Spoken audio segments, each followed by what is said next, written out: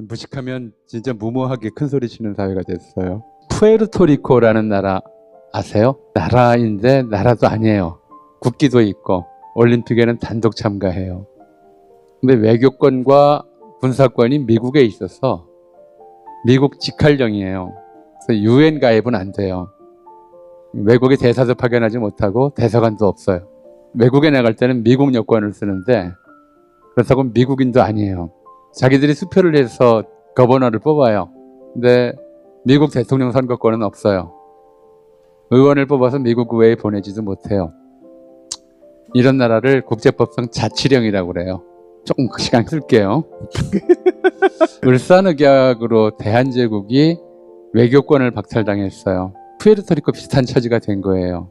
국내에 있던 외국 공사관 다 철수하고 우리가 외국에 설치했던 공사관도 다 폐쇄되고 이건 국권을 뺏은 거잖아요. 그러니까 일본인들이 이걸 뭐라고 이름 붙였냐면 보호국이라고 이름 붙였어요. 그러니까 1910년에 이제 8월 29일 날 어, 병합 조약을 체결하죠. 강제로. 근데 이때 옛날 외국노 집단이 합방 청원서라는 것을 일본에 내요. 어, 순종만 없어지면 일본과 한국이 한 나라가 될 수 있다. 그게 합방 청원서였어요. 일본이 이 1910년에 조약을 체결하면서 합방이라는 말을 쓰면 대등해 보일 수 있기 때문에 병합이에요. 이란 병합에 관한 조칙을 일본 천황이 발표를 하면서 아주 짧아요. 한국의 국호를 고쳐 지금부터 조선으로 함. 이게 무슨 얘기냐면 조선을 직할보호국으로 바꾼다는 뜻이었어요. 그렇게 되면서 조선 총독은 일본 천황이 직접 임명하고 일본 제국의회나 일본 내각에 책임을 지질 않아요. 일본과 조선이 한 나라가 됐다면 일본에 편입이 됐다면 법의 동일성이 유지돼야 돼요. 근데 일본 법은 일본 천황이 제국 의회의 협조를 받아서 제정한다 이렇게 돼 있어요. 조선의 법은 조선 총독이 제정한다예요. 일본의 법은 법이고 조선의 법은 총독이 제정하면 재령이라고 불렀어요. 음. 일본에 없는 법을 조선에서 재령으로 만들기도 해요. 조선 태형령 같은 거예요. 조선인은 잘못하면 헌병이 재판 없이 때릴 수 있다. 음. 단, 이 영은 조선인에 하나여 시행함. 일본인은 제외. 조선에 적용되지 않은 법이 일본 국적법이에요. 음, 당연히. 근데 이 데라우치 총독이 조선인으로서 타국에 귀화한 자가 일본 국익에 관계되는 일을 했을 경우에는 귀화를 인정하지 않고 제국 신민으로 간주함. 이걸 가지고 일본 국적을 땄다고 주장하는 사람도 있어요. 바보도 그런 바보가 어디 있어요. 이게 무슨 얘기냐면 러시아에 귀화했거나 중국에 귀화한 한국인이 독립운동을 하면 일본이 경찰권과 사법권을 행사하겠다는 뜻이에요. 음. 예를 들어 러시아에서 활동하는 우리 독립운동가가 뭐 일본인을 쐈다 이러면 러시아가 재판해야 되잖아요. 음. 그거를 막으려고 외국 국적을 취득도 못하게 하고 음. 또 일본 국적도 주, 지를 않고 독립운동가들이 예. 중국 국적을 획득한다든가 예. 러시아 국적을 획득하면은 음. 자기 사법권이 미치지 않으니까 그렇죠. 아예 니들은 그 나라 국적을 취득할 수도 없어. 그렇죠. 우리는 인정하지 않겠다는 어, 거예요. 그러니까 그렇다고 일본 국적을 주는 것도 아니죠. 주는 것도 아니죠. 예를 들어 이제 일본에 간 조선인 유학생이 일본 여성과 결혼해서 아이를 낳으면 일본 호적이 안 올려줘요. 어. 조선인은 일본인이 아니기 때문에 그러니까 김문수 지휘관 씨알. 그래서 어떻게 기록을 모르는 것들이 조선인 유학생과 일본인 여성이 결혼을 하며 해서 낳은 자식은 사생아로 기록을 해요. 아. 아버지 이름도 기록을 안 해요. 조선인에 대한 취급이 그런 정도였어요. 그리고 두 번째로는 한국가로 통합이 됐다면 통화권이 같아야 돼요. 일제강점기 우리 그 조, 조선은 일본은 일본은행권, 조선은 조선은행권을 아. 썼어요. 화폐가 달랐어요. 그렇지. 그러니까 같은 나라일 수가 없지. 그렇죠. 그러니까 음. 일본인들이 조선에 가서 일본은행권을 쓸 수가 있었어요. 근데 조선인들이 일본에 가서 일, 조선은행권을 못 써요. 어. 돈으로 취급을 안 했네. 어, 일본인이 조선에 와서 취업을 하면 외지근무 수당 그래가지고 봉급의 50%를 더 얹어줘요. 어. 반면에 조선인이 일본에 가서 취업을 하면 일본인보다 낮은 임금을 받아요. 세 번째로는 교육상의 동일성이 있어야 돼요. 조선인들의 학교는 보통학교, 고등보통학교, 전문학교 그렇게 돼요. 일본인들은 소학교, 중학교, 그리고 고등학교도 남기고 그 다음에 대학교 이런 이런 구조가 돼요. 그러니까 교육상의 동일성도 없어요. 아, 조선 땅에서 조선인들은 그런 체계의 학교를 다니고 그렇죠. 조선 땅에 사는 일본인들은 일본 예. 체계의 학교를 다녔다. 그렇죠. 조선인 학력이 더 짧아요. 별가르치다 보니까는 대학 진학할 때 예과라는 걸 또 둬서 조선인들의 경우에는 이제 몇 년을 더 배워야 대학에 들어와서 본과에 진학할 수 있다라고 하는. 아, 대학 그러니까 진학 자체를 어렵게 만들었구나. 예, 의대 예. 예과라고 하는 거. 그런 식의 이제 교육 체별도 있었고요. 그 다음에 행정구역이 동일해야 되잖아요. 일본은 도도부현이에요. 조선은 도군면이에요.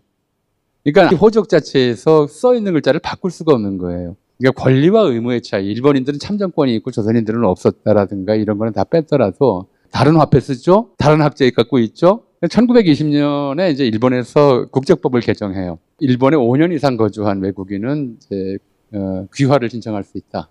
어. 근데 조선인은 일본인으로 취급하지 않으면서도 귀화 신청 대상이 안 돼요. 아, 일본에 살았던 사람들이 그러니까, 5년이 지나도 예. 일본 국적으로 귀화할 수가 없어요. 아, 일본인으로 귀화할 수가 없어요. 김문수 말 자체가 성립이 안 되잖아. 네. 아예 사실은 귀화할 필요도 없어야 되거든요. 일본 국적이면 3.1전동 끝나고 친일파들 일본에 청원을 해요. 일본인과 조선인이 구별이 돼서 이렇게 문제가 생긴 거니까 창씨 개명을 허용해 달라고. 이름 바꿔서 일본 이름 쓰면 내가 조선인인지 일본인지 어떻게 알겠느냐. 그런 새끼들이 있어요. 청원을 했는데 일본이 허가를 안 해줘요. 김문수가 얼마나 말도 안 되는 소리를 하고 있는 거야. 아, 일본 사람들이 조선인이 감히 우리식 이름을 갖겠다고 그래. 그러니까 허락을 안 해주는 거예요. 그러니까 조선인은 일본인도 아니고 일본 국적을 안 주니까. 어. 그리고 귀화도 안 되고 예. 그렇다고 외국인도 아니에요.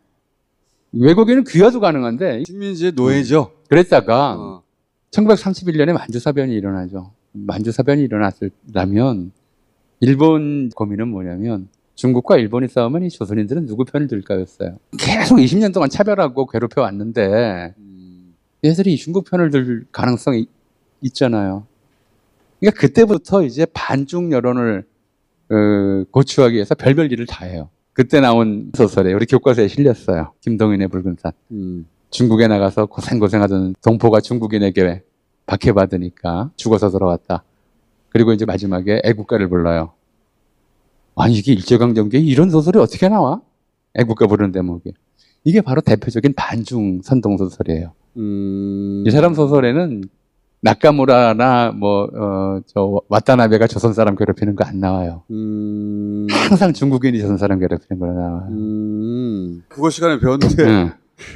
일본의 의도가 담긴 거. 조선인들을 중일 전쟁에서 일본 편으로 확실히 묶어 세우려면 일본 국적을 줘야 되는 거 아. 아니냐 그런 얘기가 나오는데 안 주죠. 국적을 안 주지만 중일 전쟁 나고 만주국을 세우고 나서는 만주국과 조선 사이의 관계를 설정해야 되니까 일본 헌법 기준에서는 일본인이 아니지만 국제법상으로는 일본인이다. 손기정의 일장기구나. 그렇죠. 그러니까 일본이 1920년 월- 올림픽부터 참가했는데 조선에서 선수 선발을 안 했어요. 음. 그랬다가 1932년에 처음으로 조선 선- 선수를 일본 대표팀에 음. 받아줘요. 음.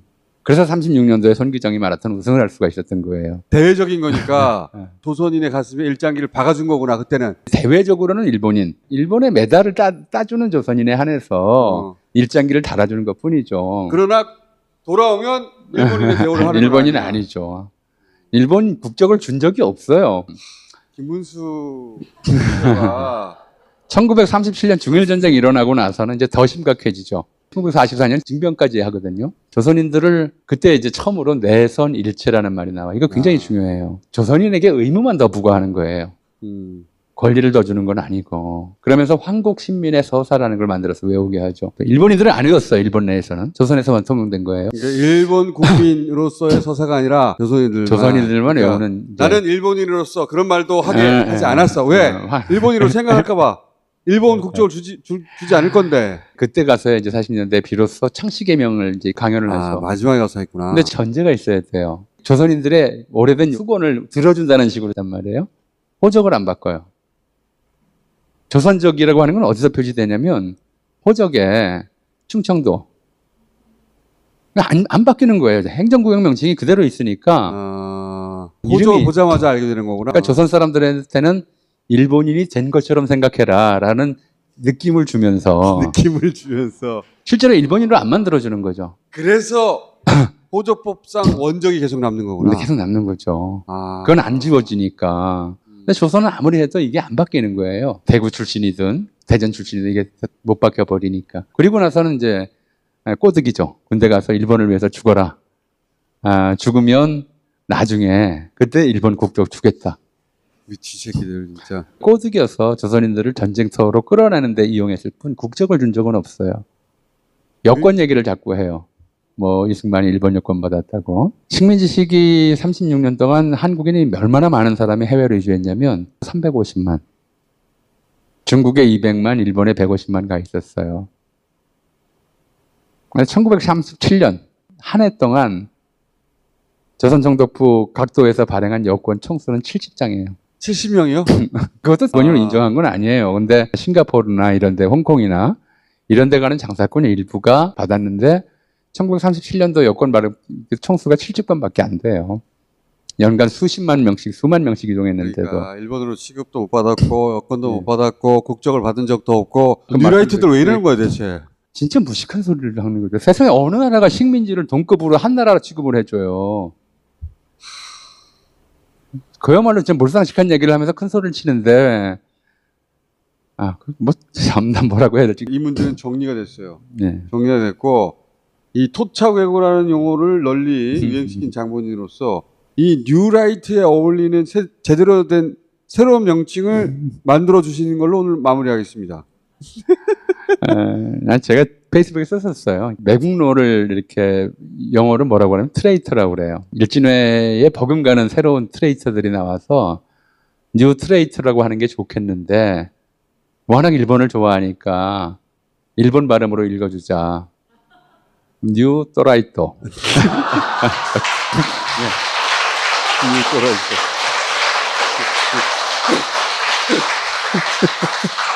번역하면 신매국노쯤 돼요. 그러니까 전통적으로 일본을 왜라고 불러왔으니까 왜라이트라고 하자.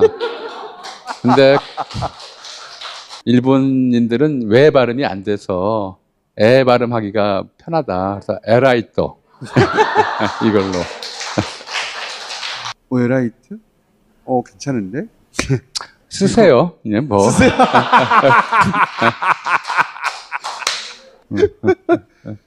더 좋은 게 나올 때까지는 왜라이트로 일단 가도록 해보겠습니다. 교수님 앞으로 SNS 쓰실 때 왜라이트라고 계속 써주세요. 저는 뉴또라이또가 더 마음에 들던데. 요거 여론조사 한번 해봐야겠어요. 저희가. 음, 그러니까 어 이거 왜- 자 오늘은 왜라이트까지 하고 전우용 교수님 앞으로 계속 모시겠습니다. 감사합니다.